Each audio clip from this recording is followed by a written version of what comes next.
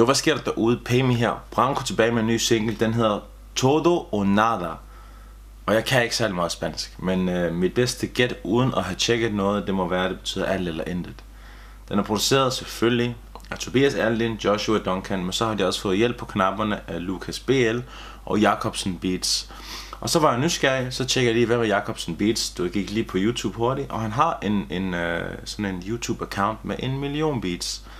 Øh, så jeg forestiller mig, at de har fundet et eller andet beat, og så har de på en eller anden måde kollabet omkring at få det færdiggjort, finpudset eller andet i den stil. Måske bare en opfordring til jer upcoming producer, der er ikke særlig langt fra der, hvor du sidder i dit hjemmestudie lige nu på dit soveværelse, eller hvor det er, til at du er i kontrakt i, nu skal jeg prøve at formulere mig ordentligt også, til at du er i kontakt med Branko og så videre og så videre. Instagram DM's derudaf. Go for it. Tag chancen. Måske pludselig er du i studiet med alle mulige folk, eller så har du i hvert fald solgt et beat til nogle rigtig dygtige folk, ikke? Branko har jo ramt den ene varme single efter den anden, så jeg glæder mig rigtig meget til at høre den her. Jeg lytter stadigvæk til alle de her singler her, han har droppet. Øh, jeg synes, det er absolut sauce. Lad os høre Todo Onada. Og jeg kunne lige følge mig på Instagram, fordi i dag der prøver jeg at ramme 6 millioner afspilninger på YouTube. Jeg mangler 21.000 lige nu. Gå ind og følg mig derinde, for jeg laver nogle stories i løbet af dagen. I dag, altså den 24. i 6. Så hvis du ser videoen efter den 24. i 6, så er det ligegyldigt. Men gå ind og se, og øh, lad os ramme de der 6 millioner i dag. Det kunne være sindssygt. Nå, lad os høre Todo og Nada. Todo i nada Hun vidste hvad hun gik ind til Justine Zaza Ikke kom med det der snak baby, ikke kom med bla bla Hun går ikke op i penge, fame eller Prada For hun er mit corazon, jamen Todo i nada Desværre hun gik ind til Justine Zaza. Ikke kom med det der snak baby, ikke kom med bla bla. Hun går ikke op i penge, fame eller Prada. For hun er mit kort, og todo en nada.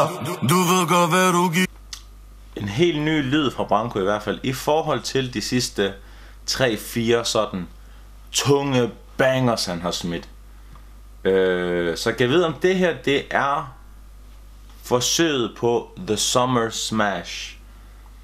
For jeg ved, der er rigtig mange af jer derude, der elsker den her lyd her. Lad os høre verset. 1. Vi kan ikke slå down i den her fuck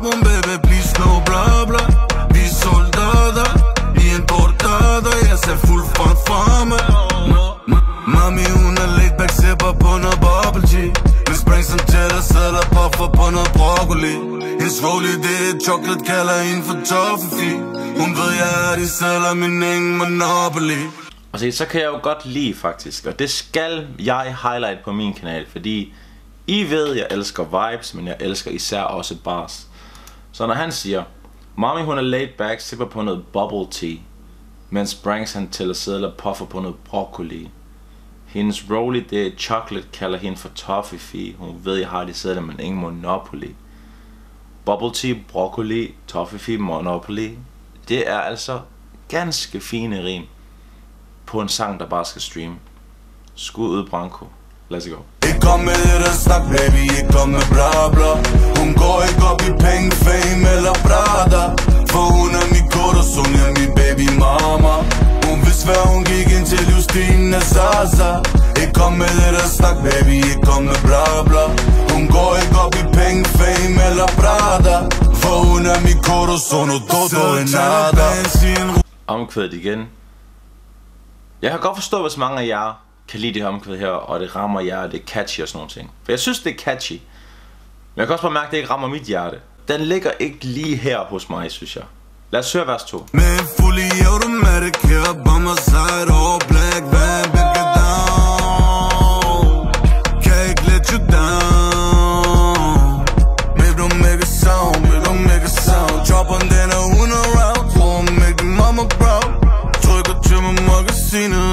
og refuse to lose Baby, læg dig ned og please don't ikke nogen moves Det er hvad der kan ske, når vi er ude og cruise Vil de have mit liv, eller bare have min juice Toto en nada Hun vidste hvad hun Ej, Branko, din dygtige mand. Hvad var det der? Ej, det ved jeg ikke. Måske nogen af jer synes, at det der, det lød rigtig, rigtig dejligt. Jeg synes, det var altså off, og jeg synes ikke, at lige præcis det der var specielt sådan behageligt at lytte til.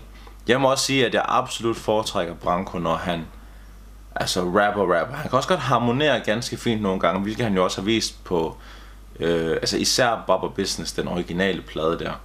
Der bliver det harmoneret rigtig fint. Og også sådan, hvor at man ligesom kender til sin vokals begrænsninger. Øh, selvfølgelig kan man få masser af hjælp i studiet og sådan nogle ting. Øh, men ja. Ikke kom med det der snak, baby, ikke kom med bla bla Hun går ikke op i penge, fame eller brada For hun er og hun er min baby mama Hun vidste hvad hun gik ind til Justine Zaza Ikke kom med det der snak, baby, ikke kom med bla bla Hun går ikke op i penge, fame eller brada For hun er min kort, og sono todo y nada Det var Todo Onada. Hvordan har I det med den? Har den ramt jer i hjertet? Jeg glemmer til at se, hvordan at dens uh, streaming-tal kommer til at gå. Jeg tænker, den kommer til at klare sig rigtig fint, den her single her. Skriv, hvordan I har det med det, og lad os ramme de der 6 millioner i dag. Den 24. i 6. 2022. Let's go. Tak fordi I så med. Peace.